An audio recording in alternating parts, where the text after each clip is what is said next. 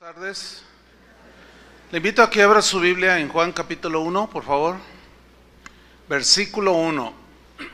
El tema que voy a hablar se titula El verbo se encarnó. Y vamos a Juan capítulo 1, versículo 1 hasta el 14.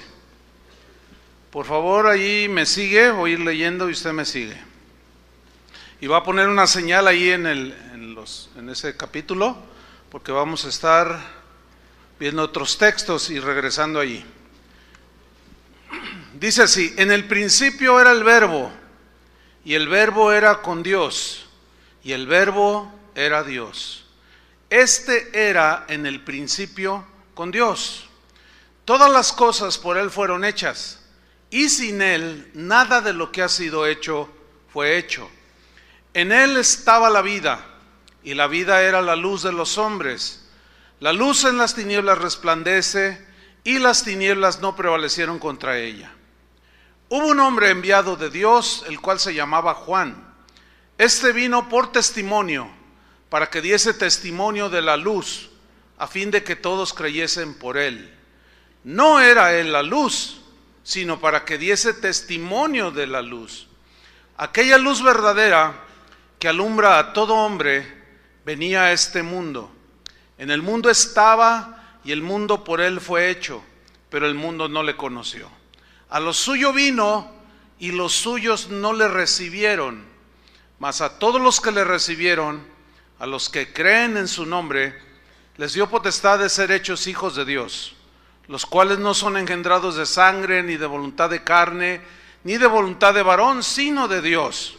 Y aquel verbo fue hecho carne y habitó entre nosotros y vimos su gloria, gloria como del unigénito del Padre, lleno de gracia y de verdad. En este mensaje y el del próximo domingo, son, voy a dar eh, dos mensajes previos a la celebración de la Navidad. Un gran porcentaje de la cristiandad alrededor del mundo celebra la Navidad. ¿Sí? Pero no todos los cristianos lo hacen. Yo quiero ir más allá del debate, porque existe un debate de que, que Jesús no nació el 25, de que es una celebración pagana y un montón de, cosas que hacen todo, cada año se, se presenta este debate. Yo quiero ir mucho más allá del debate sobre la fecha del nacimiento de Jesús o, si es de origen pagano o no, etcétera, etcétera. Yo quiero enfocarme más bien en el hecho trascendente de que Jesús nació y en lo que representa para la humanidad el hecho de que el verbo se encarnó. No me voy a enfocar en aquello que es subjetivo, como que si la fecha es o no, como que si el origen es dudoso, las celebraciones y hasta de los regalos. Eso, todo eso es subjetivo. Según la Biblia, voy a citarle tres versículos, no tiene que buscarlos, nada más puede anotarlos, en los cuales apoyo lo que yo acabo de decir. Primera de Corintios 10, 29 en la versión Palabra de Dios para Todos, se lee así. No digo que ustedes piensen que algo no se debe hacer, pero la otra persona puede pensar que está, que está mal. O sea, algunos dicen, no, pues eso es del diablo. Otros dicen, ah, es una campana. Dice, la, dice esta versión. Pero alguno puede preguntar, ¿por qué ha de ser juzgada mi propia libertad por lo que otra persona piensa que está mal? No. Romanos 14, 5 y 6. Dice, uno hace diferencia entre día y día, otro juzga iguales todos los días. Cada uno esté plenamente convencido en su propia mente. El que hace caso del día, para el Señor lo hace. El que no hace caso del día, o sea, del día eh, que para alguno es importante, para otro no. ¿sí? Pues para el Señor no lo hace, dice. Colosenses 2.16. En la versión, una versión parafraseada. Así que nadie los juzgue a ustedes por lo que comen o por lo que beben, o con respecto a días de fiesta religiosa, así dice esta versión. de luna nueva o de reposo. Todo esto es una sombra de las cosas que estaban por venir. Pero ahora la realidad es Cristo. Y yo les voy a hablar de la realidad, no de lo que está alrededor, sino de, los, de lo objetivo de la realidad, que es Cristo. ¿Y cuál es la realidad de Cristo? Que siendo Dios, se encarnó, tomó forma de hombre y vino y habitó entre nosotros. Eso es realmente el, el centro del cristianismo. Vamos pues a estudiar este pasaje que leímos, Juan capítulo 1, acompáñame ahí. Juan 1.1. Dice así, en el principio era el verbo, y el verbo era con Dios, y el verbo era Dios. Versículo 2, este era en el principio con Dios. Si observamos aquí el apóstol Juan, está diciendo tres cosas acerca del verbo, que es Jesús. La número uno, en el versículo uno dice, en el principio era el verbo. En el principio era el verbo, o sea, la palabra, el logos. La palabra Jesús ya existía antes de cualquier cosa visible o invisible. Y Juan tiene en su mente Génesis 1.1 que dice, en el principio creó Dios los cielos y la tierra. Es decir, que la palabra, que es Jesús, el verbo encarnado, no es una cosa creada. Hay algunos grupos, son sectas como los testigos de Jehová, que dicen que Jesús es un ser creado. Pero la Biblia nos dice totalmente lo contrario. La palabra, el verbo Jesús, ya existía antes de la creación. El verbo, la palabra, no es una parte del mundo que empezó a existir en un tiempo, no. La palabra, o sea, Jesús, es parte de la eternidad. Y Él estaba con Dios antes que empezara el tiempo, antes que se formara el universo. El tiempo, hermanos, es un concepto netamente humano. En Dios no existe el tiempo, Él es eterno. Dice la Biblia que para el Señor un día es como mil años y mil años como un día. Es decir, Él trasciende el tiempo. En Él no, no hay el tiempo, Él es eterno. ¿Cuánto, ¿Cuánto tiempo dura la eternidad? No tiene duración, es eternidad. Es decir, que la palabra Jesús, que la palabra que es Jesús, no es una de las cosas creadas que vemos. La palabra ya existía cuando empezó la creación. El Padre y el Hijo han existido siempre. Ellos son sin principio y sin fin. Ellos son eternos. Entonces Juan dice que en el principio era el verbo. Pero luego sigue diciendo en el versículo 1, y el verbo era con Dios. Y aquí era significa en el griego estaba. O sea, Cristo, la palabra, estaba con Dios. En el principio era el verbo, allí siempre ha estado. Y luego añade Juan, y estaba con Dios. Es decir, que siempre, siempre, siempre, siempre, hasta donde nos alcanza a entender esta palabra, siempre. Siempre ha habido una estrecha relación, una conexión inquebrantable entre el verbo Jesús y Dios el Padre. Eso quiere decir que nadie, absolutamente nadie, nos puede decir cómo es Dios. Nadie nos puede enseñar cuál es la voluntad de Dios. Nadie nos puede enseñar el amor de Dios. Nadie nos puede mostrar el corazón de Dios, excepto solo uno, Jesús.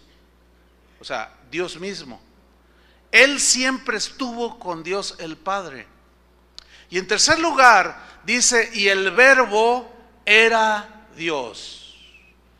¿Cuál es el orden? En el principio era el verbo, número uno. Número dos, y el verbo era con Dios. Y en tercer lugar, y el verbo era Dios. La palabra Jesús era Dios. No que dejó de serlo, sino que habla de que siempre ha sido, era y hasta el día de hoy. Jesucristo es el mismo de ayer, de hoy y por los siglos de los siglos. No tiene principio ni fin. Ahora bien, donde dice aquí el verbo era Dios, la palabra Dios en el griego es la palabra teos, ¿sí? que se traduce por Dios. Esto significa que Jesús era con los mismos atributos que el Padre tenía. Esto de que el verbo era Dios habla de que el mismo carácter del Padre es el mismo carácter que tiene Jesús. Es la son las mismas cualidades que tiene tanto el Padre como el Hijo. Es la misma esencia y como dice el credo antiguo, Dios, Dios de luz, Dios verdadero de Dios verdadero, engendrado, no creado. Engendrado cuando, cuando en la Virgen, pero no creado, siempre ha existido. Cuando Juan dijo que la palabra o, Jesús era Dios, no estaba diciendo que Jesús es el mismo que Dios. No, sino que Jesús es igual a Dios. Esto lo dice Pablo a los filipenses. No consideró el ser igual a Dios como cosa que aferrarse, sino que se despojó. Vemos pues aquí el Cristo divino, el Jesús divino, 100% Dios pero también el Jesús humano, el 100% humano. Ese es el equilibrio en cuanto a lo que revela la Biblia respecto del verbo de Jesús. 100% Dios, 100% hombre, como nosotros, humano. Cuando se sobreenfatiza la humanidad de Jesús, la, divinidad de Jesús y, y se hace a un lado la, humanidad de Jesús, se le despoja de su humanidad y, se nos presenta a un Cristo muy lejano. Cuando se sobreenfatiza la humanidad de Jesús y se deja de mencionar que también es Dios, se hace un Cristo al nivel de los hombres. No, tenemos que entender los dos conceptos. El Padre y el Hijo estaba íntimamente compenetrado el uno con el otro. Ambos piensan lo mismo, sienten lo mismo, de tal manera que si se conoce al Hijo, se conoce al Padre, si se conoce al Padre, se conoce al Hijo. Jesús está tan íntima y totalmente identificado con Dios el Padre en sus pensamientos, en su corazón, en sus sentimientos, en su carácter. Y conociendo a Jesús, conocemos perfectamente al Padre. Él lo dijo. Pongan una señal ahí en Juan y vamos a capítulo 14 eh, de Juan. Juan 14, versículo 8. Ahí está Jesús con sus discípulos, dialogando con ellos. Y le dice en Juan 14, 8, Felipe le dijo, Señor, Señor es el se está reconociendo su divinidad. Pero mira lo que le dice, Señor, muéstranos al Padre y nos basta. Jesús le dijo, tanto tiempo hace que estoy con vosotros y no me has conocido, Felipe. El que me ha visto a mí, ha visto al Padre. ¿Cómo pues dices tú, muéstranos al Padre? ¿No crees que yo soy en el Padre y el Padre en mí? Noten que Él no dice, yo soy el Padre. Está hablando de otra persona distinta pero con la misma esencia. Este es el misterio de la Trinidad. Dios Padre, Dios Hijo, Dios Espíritu Santo. No son tres dioses. Son tres personas dentro de la divinidad que son inmutables, incambiables, totalmente en una armonía impresionante. Esto es lo que se ve en toda la Biblia. ¿Sí? Le dice pues en el versículo 10, ¿no crees que yo soy en el Padre y el Padre en mí? Las palabras que yo os hablo no las hablo por mi propia cuenta. Ahí menciona otra vez la, afinidad que tienen, la unidad que, que poseen entre ellos. Sino que el Padre que mora en mí, Él hace las obras. En este caso yo nada más vine a, hacer una misión, a cumplir una misión. Ahora volvamos a Juan capítulo 1, versículo 3. Está hablando del verbo, este, tómelo en cuenta. Y luego dice el versículo 3, Todas las cosas por Él fueron hechas. Pregunta, ¿quién es Él aquí? ¿El Padre o el Hijo? El Verbo. Muy bien, palomita para todos. Bien. Todas las cosas por Él fueron hechas. Aquí está echando por tierra que Él no es un ser creado. Que Jesús no es un ser creado. Porque un ser creado como tú y como yo no podemos crear algo de la nada. Cuando dice la Biblia en Génesis que creó Dios los cielos y la tierra, la palabra crear es la palabra hebrea vará. Y esa palabra significa crear algo de la nada. Ninguno de nosotros tenemos ese atributo de crear algo de la nada. Dios es el único que posee ese atributo. Y dijo Dios, sea la luz, y de la nada salió la luz. Y dijo Dios, produzca el mar seres vivos, y de la nada salieron, nacieron los, o salieron, aparecieron, de la nada. Eso es lo que significa en Romanos que Dios llama las cosas que no son como si fuesen. Eso refiere al atributo que Dios tiene de crear algo de la nada. Entonces pongan mucha atención, porque mira lo que dice, vuelvo a leer versículo 3. Todas las cosas por Él fueron hechas. O sea, Jesús mismo, creador, creó todo junto con el Padre, de la nada, creó todo lo que vemos. Y luego dice, y sin Él, sin Jesús, el verbo, nada de lo que ha sido hecho fue hecho o existiera. Nada de lo que hoy ves que existe existiera sin Él. Hasta el día de hoy los científicos no han sido capaces de explicar por qué el universo, ellos, ah, ellos hablan de una fuerza misteriosa que todavía no definen. Por ahí algunos científicos eh, eh, están hablando últimamente de unos 20 años para acá o tal vez un poquito atrás de la partícula de Dios, no sé si han leído eso. Ellos descubrieron, le llaman la partícula de Dios. O sea, que, que esa partícula, y te dan toda una teoría que finalmente es la que provocó la vida y le llaman la partícula de Dios. Pero todavía ellos no dan respuestas satisfactorias a cómo es que el universo camina en una forma, se mueve y funciona en una forma impresionantemente exacta. ¿Cómo es que, por ejemplo, la Tierra en el universo se ve que está flotando? ¿Quién sostiene la Tierra? Dice la Biblia aquí que sin Él nada de lo que ha sido hecho fue hecho. Y dice que en Él subsisten todas las cosas. Ahora, vamos a Colosenses 1.16. Colosenses 1.16. Aquí Pablo, por el Espíritu Santo, está en, total armonía con lo que Juan está diciendo acerca del verbo encarnado de Jesús. Dice Colosenses 1.16, porque en él, ¿quién es él aquí? Jesús. Si vemos el contexto, Pablo está hablando del verbo otra vez, de Jesús. Porque en Él, o como dice otra versión, porque por Él fueron creadas todas las cosas.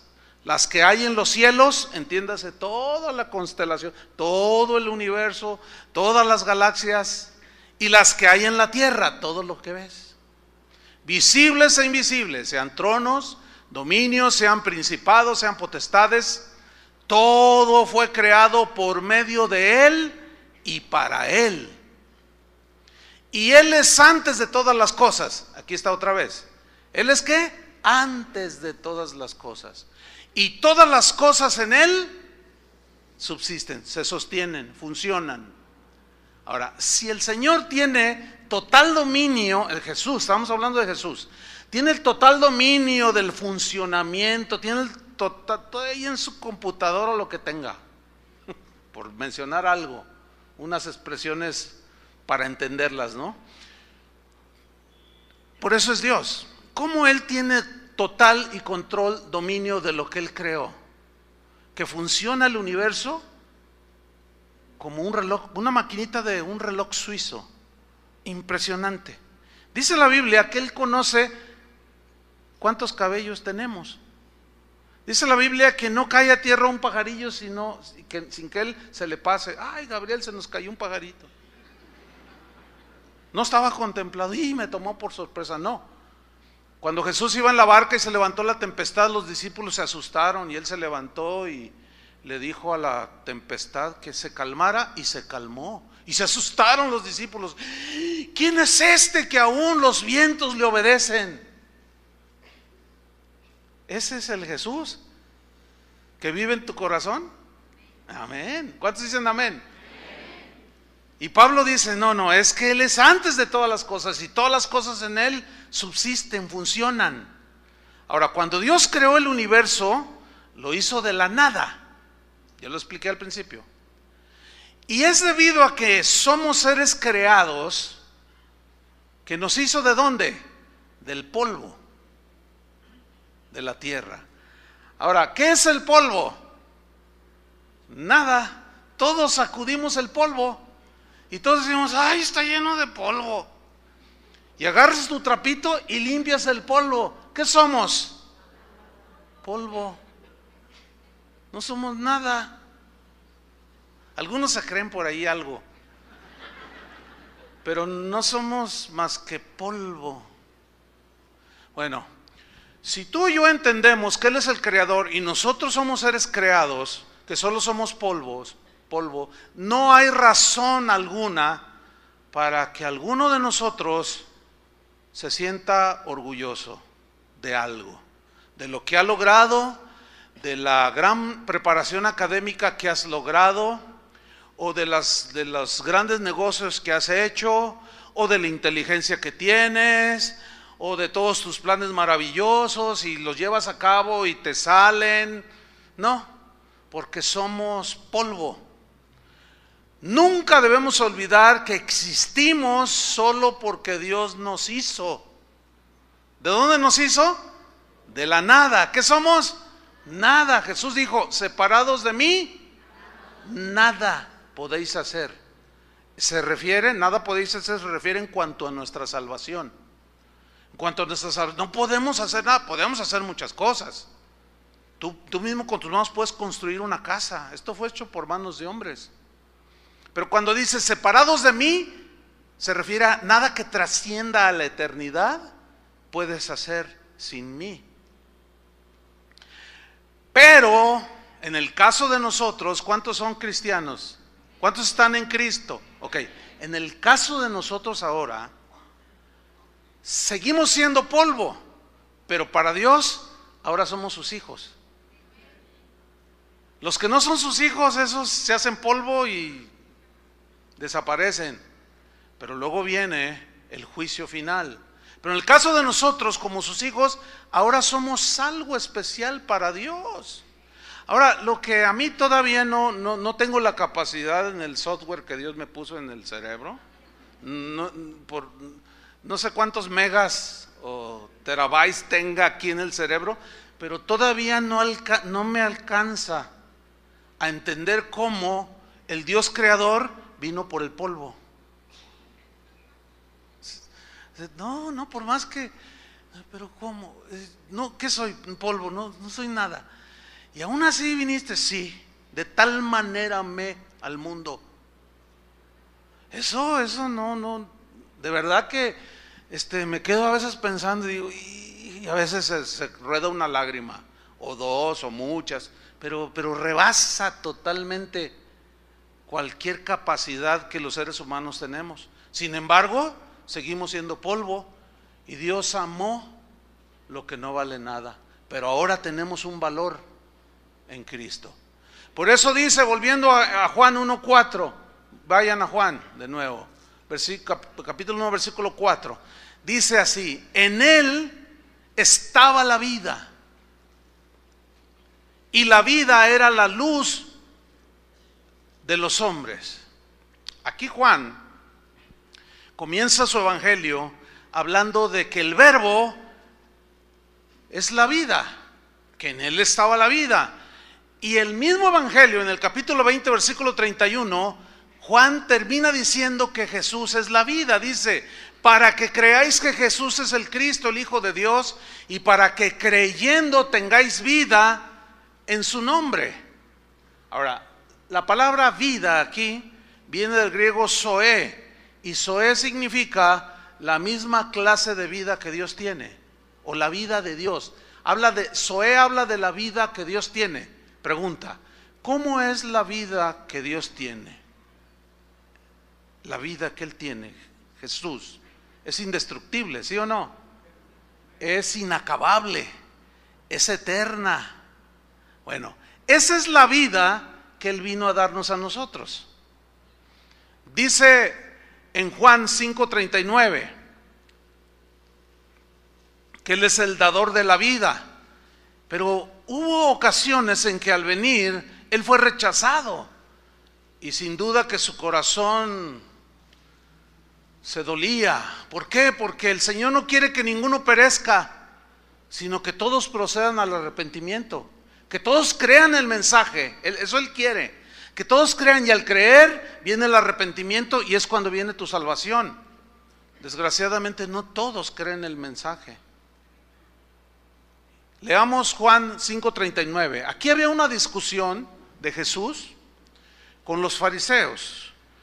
Eran los encargados de desmenuzar la palabra de Dios, de trazar la ley, de explicársela al pueblo para que la gente la entendiera. Ellos eran los encargados, junto con los escribas, los estudiosos de las escrituras, eran los encargados de hablarles del Mesías que había de venir para salvarlos, pero ellos torcieron el concepto del Mesías.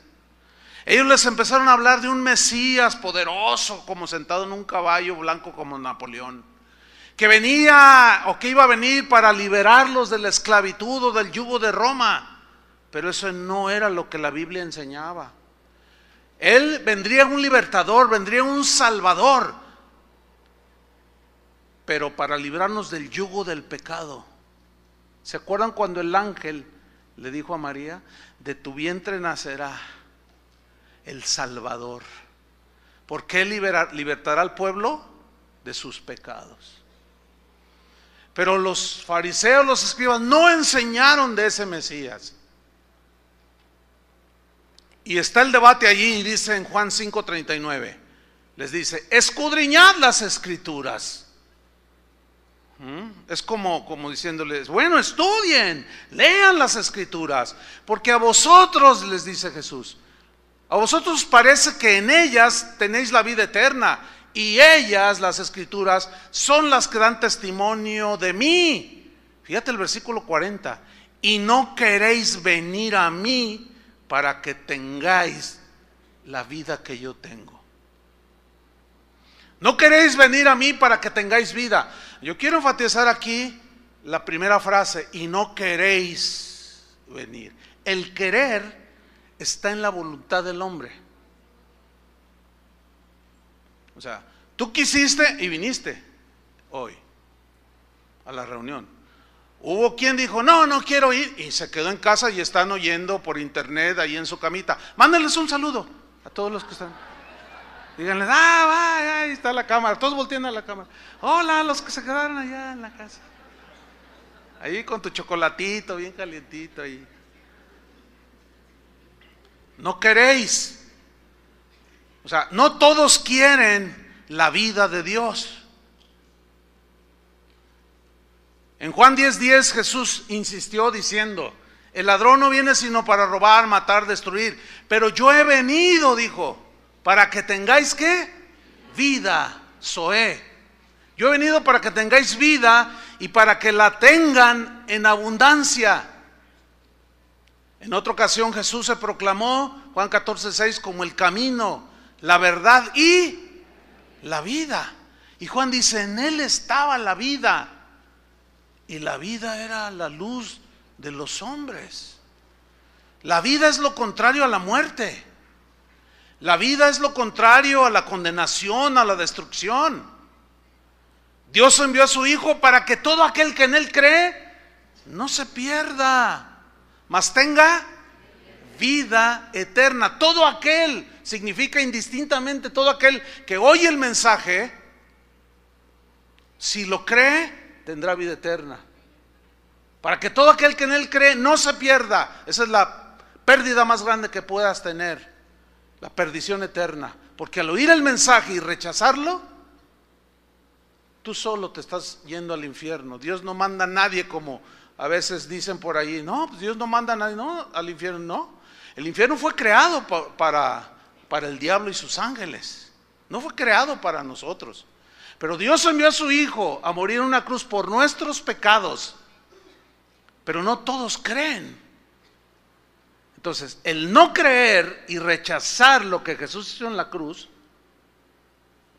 no hay otro mensaje que los pueda salvar. Es hasta que aceptamos a Jesús como nuestro Salvador cuando empezamos a vivir verdaderamente la vida.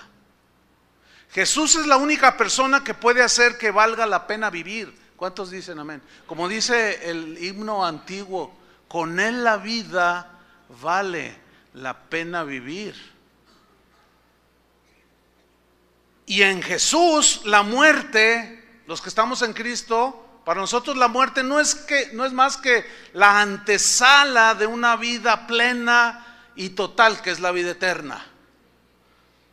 Mire, reflexionando en esto, me puse a pensar algo, porque hace unos días estaba eh, ahí en mi casa mirando unos papeles y salió una fotografía eh, donde yo aparezco con mis amigos que eran algunos desde la secundaria, la prepa, etcétera. Y en esa fotografía aparecen 12 o 13 de mis amigos con los que siempre me gusté y crecí. ¿Sí? Y nos fuimos. Pero yo tenía 20 años cuando acepté a Jesús. En unos cuantos días yo voy a cumplir 59 años. Ahora, cuando yo les prediqué a ellos, cuando me convertí, yo les hablé de Jesús y ellos me dijeron, no, ¿qué es eso? No, no, no me digas que te estás metiendo a eso. No, hombre, ¿qué? ¿Te vas a meter en un convento o qué? Y me empezaron a decir el monje loco. Ahí viene el monje loco, me decían. Se burlaban de mí decían, no, no, Olivares, no, no, no, no, yo te, creíamos más inteligente. No, hombre, la vida hay que vivirla, Olivares, me decían. No, la vida ir para allá. Y ustedes saben, la vida del mundo. Me decía, uno, uno me dijo, qué desperdicio lo que empezaste a hacer. Hacerte cristiano, me dijo. Bueno, cuando encontré esa foto hace unos días, hasta con el celular le saqué una foto. Y salió bien, fíjense. Y ahí la traigo en mi celular. Porque cuando empecé a ver la foto, yo ya no me acordaba de algunos de ellos. Y empecé a verlos. Y hace tiempo yo les comenté una historia. Porque de esos que estaban ahí, el 98% ya murieron. Solo quedamos con vida uno de los que estaban ahí y yo. Y empecé a mirarlos y dije, este es el que mataron porque se metió con una mujer casada y el marido los encontró y a los dos los balació y murió bien feo y ahí lo estoy viendo. Y este, este se murió de cirrosis hepática, de tanto alcohol. Este se quedó en un viaje y se pasó y se murió en su propio vómito. Este murió desahuciado. Este, todos ya murieron los que me decían a mí que yo había desperdiciado mi vida. Ahora, si yo volviera a nacer de mi mami, de doña María Luisa, y me presentaran el mensaje del Evangelio, yo no tendría la menor duda de, volver a escoger lo mejor, que es la vida de Jesús, a Jesús. Y mientras más pequeñito sea, mejor para mí. Porque a mí nadie me puede decir que los 39 años que he vivido con Jesús no han sido los mejores. Nadie me puede decir eso. Porque si esos 39 años que hasta ahorita he vivido con Jesús, comparados con los 20 cuando yo lo conocí y que andaba allí como cualquiera en el mundo, no se comparan. Si, si fuera mejor lo que el mundo ofrece y vivir la vida que el mundo ofrece, yo ya me hubiera regresado hace muchos años, ¿sí o no? Ya casi estoy para doblar. Casi 40 años. Eh, ¿Qué quiero ilustrar con esto? De que cuando tienes a Jesús en tu vida, tienes la vida eterna, es cuando realmente empezamos a vivir la plenitud de la vida. ¿Cuántos tienen a Jesús en su corazón? Lo demás es basura. Nadie puede discutir, al menos conmigo, ese, ese punto. ¿Por qué? Porque ¿dónde están todos esos? Y el que queda vivo lo abandonó la esposa porque la engañó.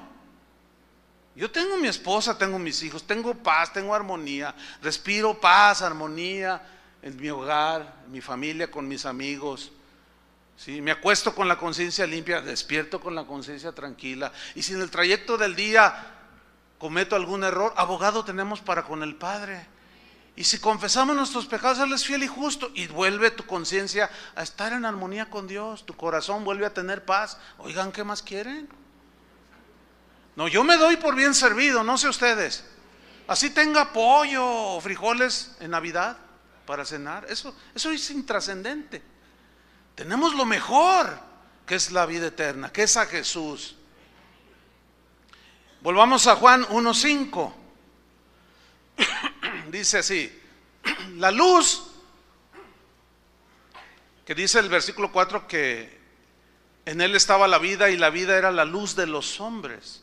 Dice el 5, la luz en las tinieblas resplandece y las tinieblas no prevalecieron contra ella. Es obvio, nosotros podemos entenderlo perfectamente, que la oscuridad es contraria a la luz y viceversa. La oscuridad no brilla en medio de la luz, no, la luz brilla en medio de la oscuridad. Pero fíjense que el hombre por naturaleza como está en oscuridad, oscuridad entiéndase en el pecado. ¿Sí? Es una, es una metáfora ahí. El hombre pecador, por naturaleza, porque así nacemos en pecado, nuestro medio ambiente es la oscuridad. El pecado, entiéndase. Y por naturaleza rechazamos la luz. ¿Por qué? Porque la luz descubre las cosas escondidas que hay en el corazón. Es como el ejemplo que he puesto en otras ocasiones. Cuando usted llega a su cocina y prende la luz, ¿quién sale corriendo? Las cucarachas, dijeron todos. Algunos dijeron nosotros, bueno, ya, ya, cada quien, ¿no? ¿Por qué, ¿Por qué las cucarachas, los ratones? Mira, aquí cuando está todo esto apagado, aquí abajo a veces viven ratones. Y cuando se apaga todo, como ahí está mi oficina, y a veces está todo esto apagado, y oigo, y oigo como... Les prendo una luz, corren. Ellos, ellos rechazan la luz. Así es, es su naturaleza. ¿Sí? Bueno, por naturaleza nosotros somos como, como ellos. Cuando se nos prende la luz del Evangelio, salimos destapados. Salemos, Bueno, es que como ya van todo este mes que he andado visitando ranchos. Bueno, pues algo, pues algo se me pegó, oiga. y salimos disparados. Mire, por naturaleza, por naturaleza, cuando se nos presentó el Evangelio, ¿cuál fue nuestra reacción por naturaleza? No, no, no, yo no quiero nada, nada con eso. No, no, yo soy bueno. ¿Por qué dices que soy pecado? Mira, no, tomo, no fumo. Ay, mira, ¿has echado alguna vez una mentira? Claro. ¿Cómo se le llama a alguien que ha echado mentira? Mentiroso, entonces sí has pecado. No, no, lo que pasa es que a mí no me vas a cambiar de religión. Y, hay un rechazo. No, yo que no sé, que yo soy bueno. Ahora que andaba en unos ranchos de estos, ahí por Tepa, el viernes pasado precisamente íbamos en la carretera y vimos así hacia abajo, en un valle, una construcción bien bonita en medio del, cerro allí. Y yo le dije a un hermano de ahí, le dije, oye hermano, ¿qué es eso? dice, mira, ese es un templo, ese y otro que vamos a ver más adelante. Es un templo, son templos que ha construido uno de los hombres más ricos de aquí de la zona de Tepatitlán y de Arandas, todo eso. Ah, dice, y ese señor es mi patrón.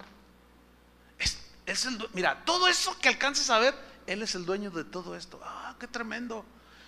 Y lo dice, le dije, oye, ¿le has compartido? Y me dice, sí, sí le he compartido, porque Él dice, se jacta y dice, mira, ¿ves ese templo? Yo lo hice. Yo creo que sin duda cuando me muera me voy a salvar. Me voy a ir derechito al cielo, ve todo lo que he hecho. Y que él le dice, no, pero no es por obras. Y le empieza a predicar el Evangelio y la cucaracha, por más rica que sea,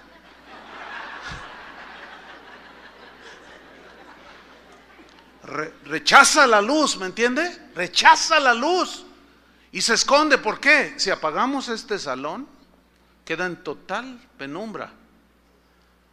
Pero hay luz suficiente para ver todo lo que hay alrededor, ¿no es cierto? En otras palabras, la luz tiene, una de sus cualidades es que hace notar lo que está ahí, donde se enciende esa luz. Bueno, Jesús es la luz que vino a alumbrar a los hombres. La palabra, que es Jesús, el rey David decía, lámpara es a mis pies tu palabra, o sea, lámpara es a mis pies. La figura es esta, no eran lámparas como las de que le prenden, no, no, eran lámparas con un, como una vela y, y la llevaban así para alumbrar delante de la persona que va caminando. Lámpara es a mis pies tu palabra y lumbrera a mi camino. Entonces, la, la palabra de Dios tiene esa cualidad que cuando es predicada es como si le prendieras una lámpara de 10 mil watts a la persona. Se la prendes y se da cuenta de todo y por naturaleza se rechaza la luz. ¿Sí? La luz, dice Juan 1.5, la luz en las tinieblas resplandece y las tinieblas no prevalecieron contra ella. Fíjate bien, la oscuridad representa pues el ámbito natural de todos los que odian el bien. Sin embargo, ¿por qué se encarnó el, verbo, el Hijo de Dios? O sea, fíjate la condición en la que estábamos en plena oscuridad. Bueno, para responder esta pregunta vamos a Juan capítulo 3, versículo 17. Juan 3, 17. Vamos desde el 16. ¿Todos se saben el 16 de memoria? A ver, voy a esperar a que lo encuentren. Juan 3:16. Pero lo vamos a decir de memoria, ¿ok? Porque de tal manera amó Dios al mundo que ha dado a su Hijo unigénito para que todo aquel que en él cree no se pierda, mas tenga vida eterna. No se pierda. Todo aquel. Ahora fíjate el versículo 17 porque no envió Dios a su Hijo al mundo para condenar al mundo. Aquí aparece dos veces, tres veces, la palabra mundo. En la primera dice, porque no envió Dios a su Hijo al mundo, aquí el mundo es la tierra, para condenar al mundo. O sea, el mundo aquí son los que habitan en la tierra, o sea, usted y yo, sino para que el mundo, o sea, el ser humano, sea salvo por él. Cuando usted lee mundo, ¿cuántos están incluidos ahí? ¿Verdad que no es difícil entenderlo? Claro que no. Versículo 18. El que en él cree, de todos los que están en el mundo, el que en él cree, fíjese cómo es creer, el que en él cree no es condenado. Pero el que no cree ya ha sido condenado porque no ha creído en el nombre del unigénito Hijo de Dios. Cuando usted siempre lee en la Biblia el nombre, el nombre del Señor, el nombre de Jesús, el nombre, no es tanto conocer, bueno, sí, ¿cómo se llamó Cristo Jesús? ¿O cómo te llamas tú? Pues Francisco, pues me llamo Sofía. No, para los hebreos y otras culturas, inclusive, eh, cuando decían el nombre aquí, tiene que ver con lo que representa el nombre de Jesús, que Él es Dios, que era el verbo y el verbo estaba con Dios y el verbo era Dios. Todo lo que es Jesús en sus atributos, todo lo que hizo en la cruz, todo está encerrado en el nombre de Jesús. Por eso, si yo les pregunto, ¿conoces el nombre de Jesús? Se debe entender no como Jesús, así, simple, no, sino lo que representa Jesús. Por eso, lo que dice aquí, el que en él cree, 18, no es condenado, pero el que no cree ya ha sido condenado porque no ha creído en lo que el nombre de Jesús, en el unigénito Hijo de Dios, representa. Hay algunos que van a las iglesias católicas, evangélicas. Alguien hizo una encuesta el siglo pasado, allá en los Estados Unidos. Se metió a iglesias católicas, metodistas, evangélicas, todo tipo dentro del cristianismo. Y a la salida les preguntaba, ¿tú crees que Jesús es Dios? El 60% respondieron que no, no, el, bueno, Dios, tanto como Dios, igual a Dios, no. Pero fue un iluminado. Órale. ¿Eh? ¿Qué tal? O sea, de entre los mismos que van a las iglesias no creen en el nombre de Jesús. Qué cosa, ¿no?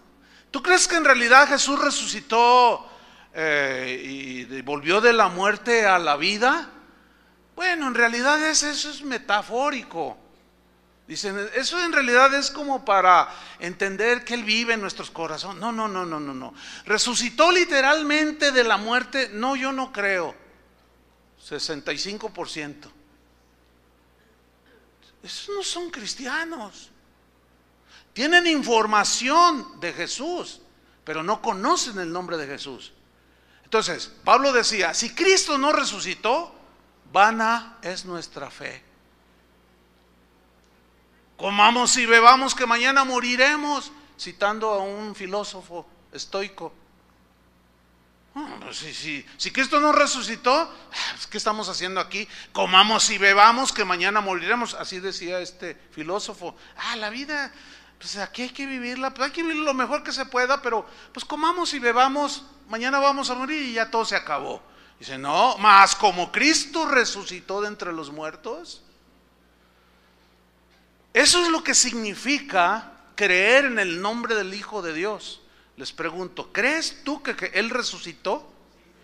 Bueno, en primer lugar, ¿crees que Él se encarnó, Dios se encarnó? ¿Crees tú definitivamente que Él murió en la cruz por ti? ¿Tú crees que Él resucitó de los muertos para tener nosotros una esperanza de resurrección y vida eterna? ¿Sí? Eso es creer en el nombre de Jesús. Ahora sigo leyendo. Versículo 19. Y esa es la condenación. ¿Cuál? Que la luz vino al mundo. Ahí está. Y los hombres amaron más las tinieblas que la luz, porque sus obras eran malas. Porque todo aquel que hace lo malo aborrece la luz y no viene a la luz para que sus obras no sean reprendidas. Por eso es que hay un natural rechazo a la luz del Evangelio cuando se le predica a la gente. Hay un natural rechazo. ¿Por qué? Porque el Evangelio nos descubre como es luz, nos descubre tal y como somos. ¿Ah? Y leemos ahí los diez mandamientos, la ley moral de Dios. No robarás, no matarás, no tendrás dioses ajenos delante de mí. Y te das cuenta que los traes colgados aquí, los traes metidos acá, los tienes en el nichito ahí en tu casa. Tienes ídolos por todos lados mientes, robas, adulteras, o sea, de todo. Y dices, no, no, yo no soy ese. Ah, no. Entonces hay un rechazo. Y esa es la condenación, que la luz vino al mundo y los hombres rechazaron. Entonces el mundo rechaza a Cristo, que es la luz, pero jamás podrá extinguir esa luz, porque la luz, dijo Juan, en las tinieblas resplandece y las tinieblas no prevalecieron contra ella. Ciertamente, en la historia del cristianismo, que ya va para dos mil años de cuando Jesús apareció en la tierra, a la fecha ha existido la iglesia. ¿Quién es la iglesia? Ya, ya todos lo sabemos, los creyentes. Los nacidos de nuevo de todas las congregaciones que dicen creer en Cristo. Esa es la verdadera iglesia. Los que nos hemos arrepentido genuinamente, hemos nacido de nuevo y vivimos una vida en Cristo. De manera que alguno está en Cristo, vivimos como nuevas criaturas, ya no somos esclavos del pecado. Esa es la verdadera iglesia. Esa es la iglesia por la que el Señor va a venir. Pero ha habido épocas en la historia en el que parece como que la luz se apagó. Y la edad más oscura fue la del siglo XVI.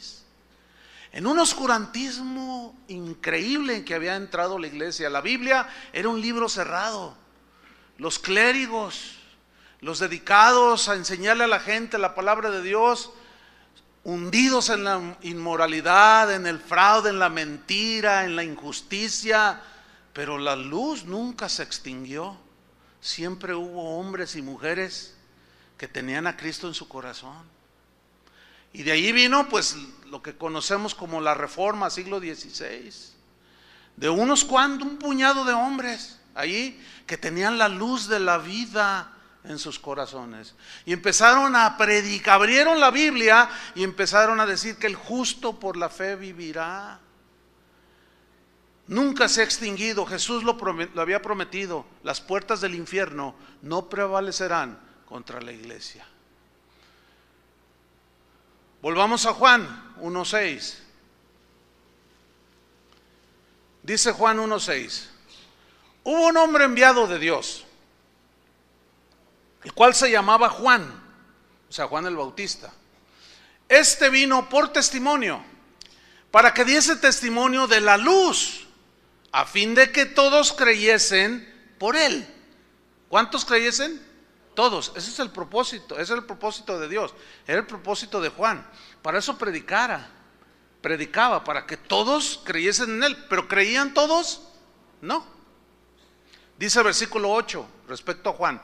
No era él la luz, sino para que diese testimonio de la luz. ¿Quién es la luz? Jesús. ¿Qué debía hacer Juan el Bautista? Hablar de la luz.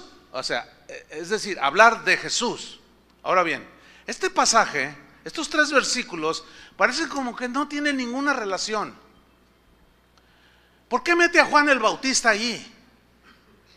¿Por qué inserta Juan el apóstol este pasaje, esos tres versículos. ¿Por qué? ¿Saben por qué? Porque hay una tendencia de darle más importancia al mensajero que al mensaje. De hecho, hay documentos que mencionan que en estos tiempos había un, grupo de hombres y mujeres, un grupo de personas que empezaron a seguir a Juan el Bautista. Y como era un hombre que tenía un mensaje bien poderoso y gente quería realmente escuchar el mensaje de Dios, se impactaban por el mensaje. Él predicaba el arrepentimiento. Él decía, yo soy una voz que clama en el desierto. Voy a preparar el camino del Señor. Arrepentíos, decía. Arrepiéntanse porque el reino de los cielos se está acercando. Entonces la gente venía al río Jordán y él los bautizaba. Y en una ocasión se metieron en la fila los fariseos. Les dijo, hey, ¿ustedes qué? Órale, para afuera. No, nosotros nos queremos bautizar. No, no, no, no, no. Sálguense de la fila. Largo de aquí, víboras, les dijo. Les dijo, si se quieren bautizar, primero hagan frutos dignos de arrepentimiento. Es decir, demuestren que en verdad están arrepentidos por su cambio de vida. Y luego vengan y los bautizo. No, ese mensaje impactaba a la gente. ¿Sí? Entonces la gente empezó a ver a Juan el Bautista como la luz. Vamos a este pasaje, Juan 3:25. Bien interesante. Y allí descubrí yo por qué el apóstol Juan insertó a Juan el Bautista allí. Vamos a leer Juan capítulo 3, versículo 25. Dice así, entonces hubo discusión entre los discípulos de Juan, de Juan el Bautista, y los judíos acerca de la purificación. Versículo 26. Y vinieron a Juan, o sea, los discípulos de Juan, y le dijeron, rabí, o sea, maestro, mira que el que estaba contigo al otro lado del Jordán, ¿quién es ese que estuvo con él al otro lado del Jordán? Jesús. ¿Se acuerdan cuando él estaba bautizando y de pronto aparece Jesús y dice, hey, he aquí el Cordero de Dios que quita el pecado del mundo. A él oíd, dice. Y lo bautizó. Y vino una voz del cielo, del Padre, que dijo, este es mi Hijo amado, en quien tengo toda mi complacencia. A él oíd. Y Juan el Bautista estaba allí. Pero fíjese lo que hicieron sus seguidores. ¿eh? Mira, que el que estaba contigo al otro lado del Jordán, de quien tú diste testimonio, bautiza. Pero esto era como, oye Juan, ¿qué onda? Si tú eras antes que él, ya te está quitando el rating. Ya, ya, el otro, aquel Jesús, bueno, sí, está agarrando popularidad. No debes de permitirlo, Juan. Fíjate, ese bautiza. Dice, y todos vienen a él, como que empezaron a tener celos. Y nosotros somos de Juan el Bautista. Nosotros nos hemos arrepentido. Pero allá anda Jesús y todos se van detrás de él. Oye Juan, ¿qué está pasando? Fíjate el versículo 27. Respondiendo Juan, dijo, no puede el hombre recibir nada si no le fuere dado del cielo.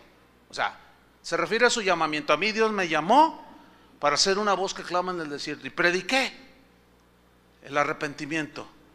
Pero también en esa ocasión del bautismo de Jesús dijo, antes dijo, detrás de mí viene uno que no soy digno de desatar la correr de sus, de sus pies, de sus sandalias.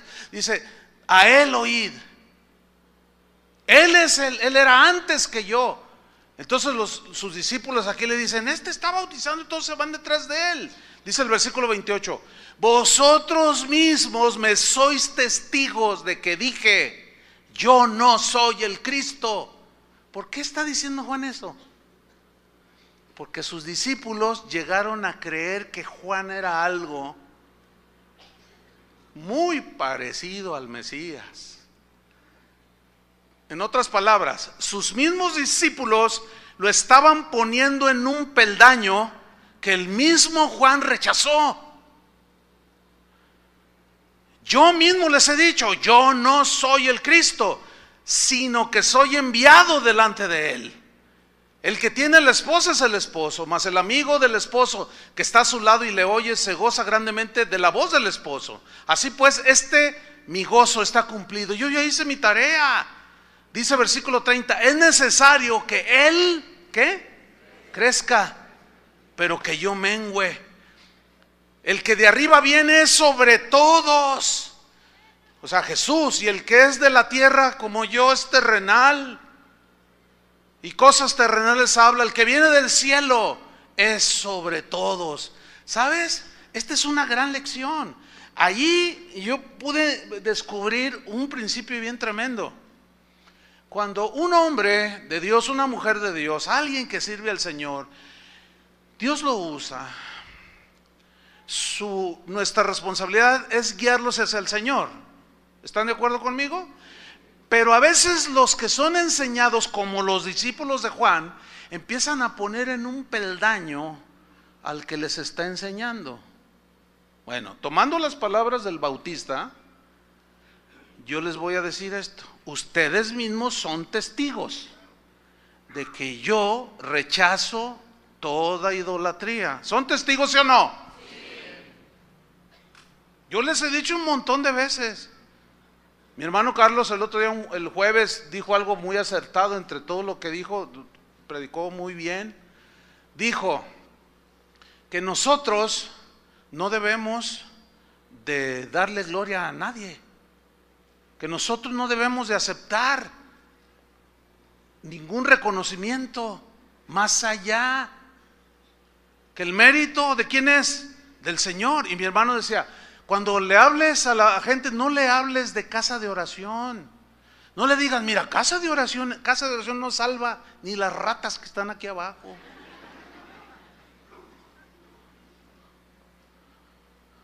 Y dijo, ni tampoco nos predique a nosotros. Mire, ven a oír a un hombre que sí predica el Evangelio. Nosotros rechazamos todo ese tipo de cosas. Ustedes son testigos. Bueno, mire lo que me pasa de continuo. Cuando salgo a visitar las casas de oración, siempre pues va gente de, si es en una, en una ciudad, vienen de lugares cercanos. Y se acercan a saludar después de la, de la enseñanza y siempre, siempre, siempre dicen, pastor, déjeme decir, mire, yo ya sé que a usted no le gusta que le digan, pero le voy a decir. Miren, la verdad, algunos de ustedes le dicen, nah, tú eres un idólatra. Y saben qué, muchas veces tienen razón. Son idólatras. Siguen a un hombre, no están siguiendo a Cristo. Y bien ganado se lo tienen. Te dicen, ah, tú eres chullista. Bien ganado te lo tienes. Yo rechazo totalmente eso. Ustedes son testigos. Aquí desde arriba y desde abajo. Ahora, la gente te puede poner en un peldaño, como a Juan el Bautista. Él era un genuino hombre de Dios, ¿sí o no? Pero Juan el Bautista no se creyó lo que estaban sus discípulos creyendo de él. Él dijo, yo no soy la luz.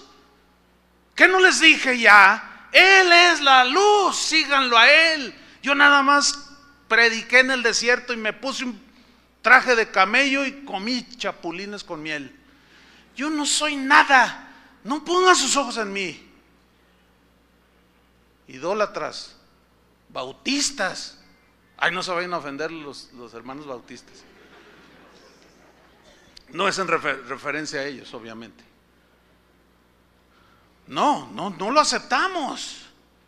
Juan el Bautista no se la creyó. Y nosotros no debemos de creérnosla tampoco. Pero si alguien, alguno de ustedes o cualquiera que oye y pone a X persona, sea yo o cualquier otro, en un peldaño que le corresponde al Señor, el problema no es de nosotros, el problema es si yo acepto ese peldaño. ¿Entienden? El problema está en que yo aceptara eso que algunos idolátricamente dicen. Ese es mi problema, pero yo no tengo nada que ver con que algunos sean idólatras, como los seguidores de Juan el Bautista. ¿Cómo controlar eso? Y luego cuando alguien va contigo y empiezan a platicar, el otro le dice, no, es que a mí Chuyo ah, tú eres un chullista, eres un idólatra, te dicen. No necesariamente, en algunos casos es una persona idólatra, porque estás aprendiendo la palabra de Dios. Pero el problema está cuando alguien se la cree. En esta, en esta semana se murió un personaje de ese tipo acá por el oriente de la ciudad. Usted sabe a quién me refiero, ¿no? Al buen entendedor, pocas palabras. Y algunos están, ¿quién, quién, quién? ¿Quién, quién, quién? Pues ahí investigue. Bueno, ese señor, ese señor, usted puede ver en los videos allí en, en YouTube, cómo la gente decía que estaba viendo a Dios y él no dijo nada. Hace rato estaba, le dije a Chuy García, mira Chuy, ven para que veas esto, un video donde está un predicador diciendo, diciendo, Isaías 6, 9, y llamará su nombre consejero, porque un niño nos es dado, llamará su nombre consejero, Dios fuerte, príncipe de paz. Dice, ¿saben a quién se está refiriendo la misma escritura? A nuestro apóstol, dice. Y le hace Chuy, estaba comiendo tacos y casi se atraganta. ¿Qué dijo? Ni siquiera te la regreso. Para que la vuelvas a oír, ¿verdad que casi te atragantas? Dice, no puede ser. O sea, él no dijo nada. El, el, estaba diciendo, tenemos a Dios entre nosotros. Bueno, ya se les murió su Dios. No estoy haciendo mofa ni, ni burlándome de su dolor. No confunda. Estoy poniendo las cosas en su lugar. Siga confiando en el hombre, los hombres nos morimos. Ese se llegó a creer Dios y se murió. A los dioses no les da cáncer. Y ahí está. Y ahora ya no, ya no saben de qué agarrarse. Eso es la razón por la que Juan, el apóstol, insertó allí en su evangelio hubo un hombre, Juan, que bautizó. Él no era la luz. Él nada más vino para dar testimonio de la luz, pero él no era la luz. Y más adelante Juan, sí, yo no soy la luz. Yo mismo les dije a ustedes son testigos. Volvamos a Juan 1.9 para terminar. Dice, y aquella luz verdadera que alumbra a todo hombre, ¿a cuántos alumbra? A todos. Venía a este mundo. En el mundo estaba y el mundo por él fue hecho, pero el mundo no le conoció. Versículo 11, a lo suyo vino y los suyos no le recibieron. Esa frase a lo suyo vino, en la versión Palabra de Dios para Todos, dice así, vino al mundo que le pertenecía. Eso es a lo suyo vino. Donde había puesto al hombre, a este hermoso lugar que se llama llamado tierra.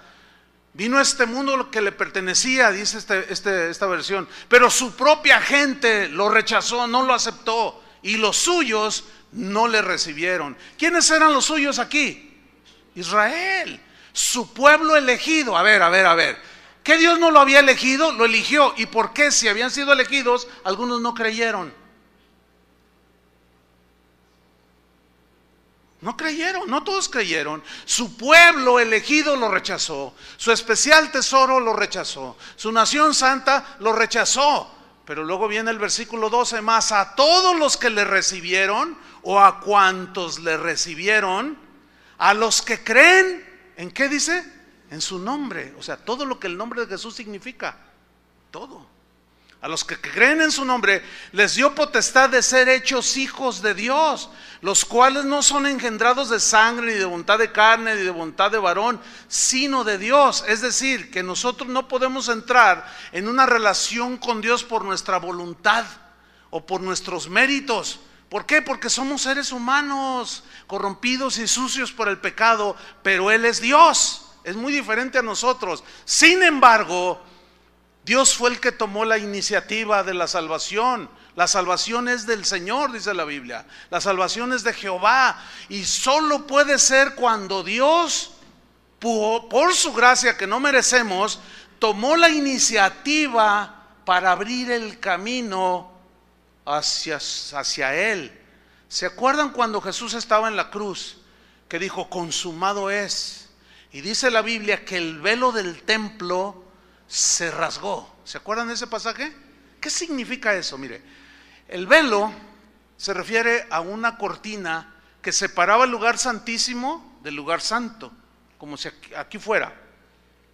En el lugar santísimo estaba el arca de la alianza que representaba la presencia de Dios y nadie podía entrar allí excepto el sacerdote una vez al año. Por eso dice la Biblia que tenemos un sumo sacerdote, que no tenemos un sumo sacerdote que no pueda compadecerse de nuestras debilidades. Porque ese mismo sacerdote hacía expresión por sus propios pecados y los del pueblo. Pero ahora tenemos un sacerdote sin pecado, a Jesús. Entonces, eso separaba, ese, ese velo simbolizaba a Cristo. Por eso dice que cuando Jesús dijo, consumado es, dice que el, el, velo del templo se rasgó, pero dice, de arriba hacia abajo. Así. Ahora, ¿por qué? ¿Qué significa de arriba hacia abajo? Que la salvación de quién vino, la iniciativa vino de Dios. Nadie por sus propios méritos ni voluntad puede alcanzar la salvación. Pero ¿qué hizo el Señor por su sacrificio? Rompió el velo y dejó al descubierto lo que había detrás de él, que el camino nuevo y vivo que Él nos abrió a través del velo. Acerquémonos pues confiadamente al tono de la gracia para encontrar misericordia, gracia para el oportuno socorro. Ahora ya todo aquel que creyera se podía acercar a la presencia de Dios, pero por el sacrificio de Cristo. Cualquiera, todo aquel que crea en Él. Y nos dejó abierto el velo, pero la iniciativa de quién fue? Del Señor, no fue de nosotros. Porque aunque fuera de nosotros no podíamos. Jesús tuvo que abrirnos el camino al lugar santísimo. La salvación que Dios ofrece es para todo aquel que, en Él cree. Es por la fe que nos apropiamos de la salvación. Ahí está, puedes entrar. No quiero. Bueno, ya Jesús hizo todo en la cruz. Se los voy a ilustrar con este ejemplo. Un papá le puede ofrecer a su hijo, mira hijo, yo, yo te ofrezco eh, cuidado, amor, te voy a sostener en tus estudios, te ofrezco todo esto. Y el hijo puede aceptarlo o rechazarlo, ¿sí o no? Dice, no, pues no, no lo quiero. Así como el hijo pródigo, ¿verdad? Dijo, no, pues yo quiero irme a donde yo quiera, quiero hacer de mi vida lo que me da mi gana. Y el padre no lo detuvo, se fue. Su voluntad se lo llevó. Pero cuando ya se dio cuenta, cuando terminó ahí comiendo comida de cerdos, oliendo a cerdo, a puerquito, dice que volviendo en sí dijo, volviendo en sí, dijo, he pecado. Iré a la casa de mi padre y le diré, Padre, he pecado contra el cielo y contra ti. Mira, hazme como uno de tus jornaleros. Y dice que el padre cuando lo miró, lo abrazó. ¿A qué olía el muchacho? Pero el padre lo abrazó y lo besó, lo bañó, símbolo de la limpieza. Le puso un vestido nuevo, zapatos nuevos y le puso un anillo. Y le dijo, mi hijo perdido estaba y hoy ha vuelto. Su voluntad se lo llevó, su voluntad lo regresó.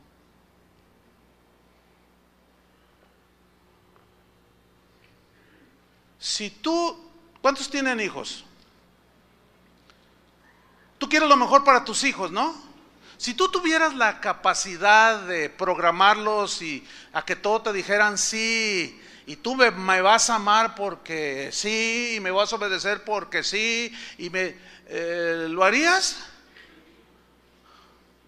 Tendrían unos robots ahí, los que dijeron que sí. O sea, si tú tuvieras el poder de programarlos así para que te obedecieran, para que nunca pecaran, para que siempre hicieran todo bien, y tú no, eso no se llama libertad. Tú tendrías unos esclavos. ¿Sí o no? Uno de los dones que Dios le ha dado, eh, yo sé que en esto hay una discusión dentro del cristianismo, pero yo soy de los que creen con mucha evidencia bíblica que Dios, uno de los de las bendiciones que Dios le dio al ser humano es la capacidad para decidir, la libertad, como le dijo, la libertad para escoger lo que es bueno y lo que es malo. Como Josué, Moisés se paran enfrente del pueblo y dijo, aquí dice el Señor, he puesto delante de ti la vida y la muerte, escoge la vida para que vivas. O como cuando Dios hizo a Adán y a Eva, les dijo, de todo, el, de todo lo que hay aquí en el huerto puedes comer, pero de este, árbol, de este árbol no puedes comer, porque si mueres, porque si comes te mueres, le dijo. ¿Eso qué tenía que ver? Con su libertad para decidir qué va a comer.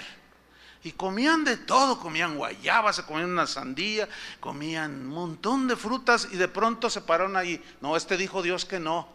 Pero, y el diablo vino, y, pero es que si comes te vas a hacer igual a Dios. Entonces, Eva, ¿qué hizo?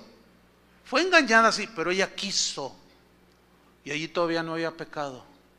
Ahí se ve que Dios le dio al hombre la capacidad de decidir. Decidió mal, estando en un estado de santidad y de gracia, decidió mal.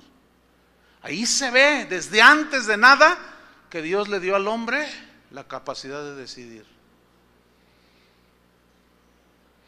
Entonces ahí está el camino, ahí está el sacrificio. Pero no queréis venir a mí.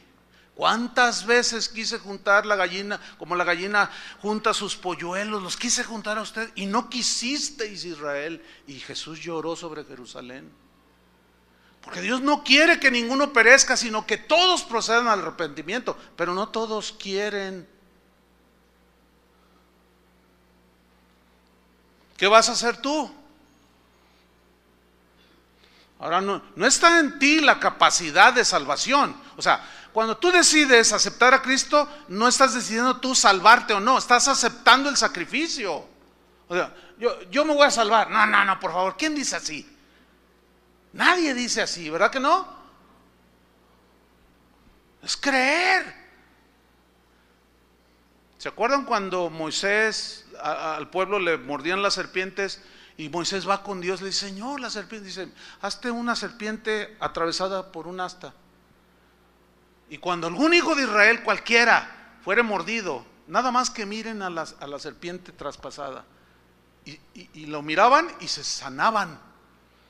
Y cuando Jesús aparece, les dicen, como, como Moisés levantó la serpiente en el desierto, Así es necesario que el Hijo del Hombre sea levantado, para que todo aquel que en Él crea no se pierda, mas tenga la vida eterna.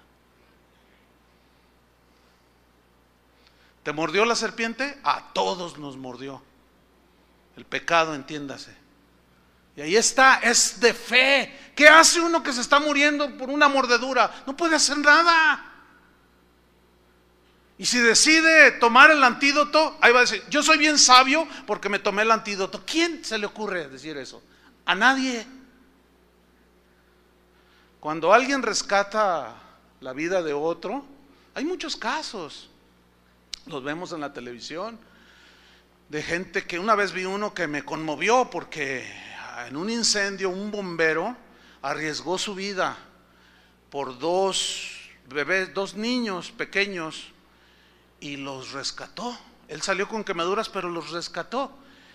Y la mamá de los niños la entrevistaron y ella decía, yo estoy eternamente agradecida con ese bombero que, que salvó la vida. Bueno, la historia que yo vi fue 25 años después, 30 años después, cuando los rescatados ya habían crecido y los entrevistaron.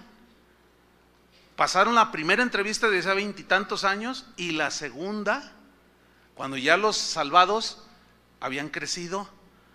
Y, esos, ya ahora un, un hombre y una mujer, iban cada año, dos veces al año, a saludar al bombero que ya estaba viejito. Agradecerle lo que había hecho por ellos. ¿Sí? En ningún momento estos que fueron rescatados dijeron, yo me salvé porque yo le agarré la mano. Entonces la salvación yo la decidí por mí. Favor. O sea, si estaba en la quemazón, pero vino alguien y te tomó, ¿sí?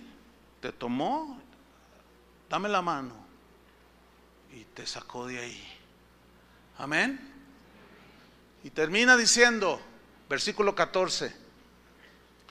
Y aquel verbo fue hecho carne. Este es el centro del mensaje de la Biblia. El verbo fue hecho carne y habitó entre nosotros, dice, y vimos su gloria.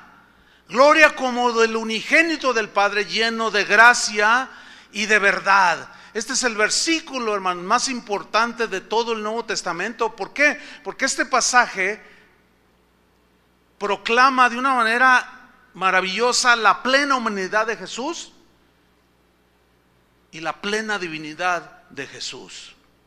En Jesús vemos pues a Dios viviendo una vida como un ser humano y, y, tuvo que hacerlo así para rescatarlo. Y vimos, dice Juan, su gloria. O sea, Juan está diciendo, a mí no me lo contaron, yo fui testigo presencial, yo lo vi, yo comí con él. Dormí con Él. Vi los milagros de Él. Yo mismo tuve peces en mis manos, panes en mis manos cuando dijo, denles de comer. Y yo mismo me extendí y mientras daba se multiplicaba. O sea, se sobreentiende eso, ¿no? Yo vi su gloria, dijo. Y fue lleno de gracia. Todo lo que Él nos dio fue inmerecido. No merecíamos absolutamente nada. Y vi su inmensa gracia y lo vi sin distinción alguna, que al mismo Judas, escribió Juan, le dijo, amigo. Jesús nunca discriminó al que lo traicionó. Nunca. ¿Por qué? Porque Él es amor y Él no quiere que ninguno perezca. Y Él no quiere que perezcas. Por eso se encarnó para salvarnos. Tomó forma humana, ese es el gran misterio. Pero el milagro más maravilloso, hermanos, no es que Dios te sane de un cáncer, es un milagro. Yo creo en milagros. ¿Ustedes también? No es que Dios te, saque adelante tu negocio y digas, ay, qué tremendo, hermano, yo no sé ni cómo. Y de pronto llegó el recurso y me sacó. Ay, qué gran milagro. Mira, escúchame. Si Dios te sana de una enfermedad incurable, cuando los médicos le dicen a tu familia, mire, ya vaya con los del funeral y arregle todo porque su, paciente ya no pasa esta noche. Y ahí estás tú. y oramos acá. Y Dios te levanta. Es un milagro, ¿verdad? Es un gran milagro. Pero sabes que tarde o temprano te morirás. Pero hay el mayor milagro, hermanos, debemos de saber dimensionar, el mayor milagro es que el creador de todas las cosas, de todo el universo, que nos formó del polvo de la tierra, que nos ensuciamos con el pecado y nos arrastramos en los chiqueros del pecado. Ese vino, se encarnó, tomó forma como la nuestra, pero sin pecado, murió en una cruz para darnos vida. Pero el mayor milagro es que ese Jesús que nació en el pesebre, en, Belén, viva en nuestro corazón. Ese, ese es el mayor milagro. Yo te pregunto, ¿vive Jesús en tu corazón? Mas a todos los que le recibieron, a los que creen en su nombre, les dio potestad de ser hechos hijos de Dios. Si yo creo lo que dice la Biblia que debo de creer para ser salvo, soy salvo. Porque si lo rechazo es porque no lo estoy creyendo. ¿Cuántos tienen el milagro en su corazón? A lo mejor estos días navideños de celebración o no celebración, supongamos que tú eres de los que celebran, pero este año te fue mal y no tienes ni para comprar pollo. Y vas a comprar unos tacos de esos que venden tres por un peso. Y tú te sientes mal porque dices, ay, no, Señor, pues qué triste Navidad. No, no, no, por favor. Te estás dejando arrastrar por el espíritu del mundo. ¿Entiendes? Con o sin, con pavo, sin pavo, sin nada o con mucho, ¿qué? Eso es intrascendente. Como es, como es intrascendente si Jesús nació el 25 de diciembre, el, el 28 de, de marzo, el 75 de febrero o el que haya sido. Eso es totalmente intrascendente, ¿sí o no? Es totalmente intrascendente si tú crees que se debe celebrar o no. Eso, eso a quién le importa. Lo que realmente trasciende es que Jesús vino al mundo y se encarnó, tomó forma humana, murió por nosotros y ahora vive en nuestro corazón. Amén. Eso es lo que realmente trasciende. Oremos. Señor, te damos gracias. Gracias por tu palabra, gracias Señor por porque tú eres el gran yo soy. Tú eres el verbo, el verbo estaba con Dios, eras Dios. Este fue el principio. Tú eres el creador de todas las cosas, formador nuestro. Qué maravilla, Señor, que de que el polvo que no vale nada de ahí nos hiciste seres humanos con alma, espíritu, pero el pecado, nuestras decisiones fueron hacia el mal, la desobediencia. Pero tú, Señor, tomaste forma humana para venir a morir por nosotros en la cruz, para que todo aquel que en, ti crea no se pierda. Gracias, Señor Jesús, por ese corazón generoso de amor, de misericordia para con todos los hombres. Cuando el ángel dio el anuncio, dijo, he aquí buena voluntad de Dios para con los hombres. Nacerá el Salvador, Dios con nosotros, Emanuel, porque Él, Él librará a su pueblo de sus pecados. He aquí el Cordero de Dios que quita el pecado del mundo. Gracias te damos, Señor. Gracias, Cordero. Gracias, Jesús, porque el mayor milagro que podamos experimentar es que tú nos salves y vivas en nuestro corazón. Gracias, Padre, por tu buena voluntad para con nosotros en Cristo. Gracias, Jesús, por tu obediencia. Te honramos, te adoramos te servimos y para ti es toda la gloria y el reconocimiento. Líbranos, Señor, de ponernos en lugares que te corresponden a ti, Señor. Rechazamos, reprendemos toda actitud de idolatría y te damos a ti todo el reconocimiento y la gloria. En el nombre de Jesucristo. Amén. Que Dios les bendiga, hermanos.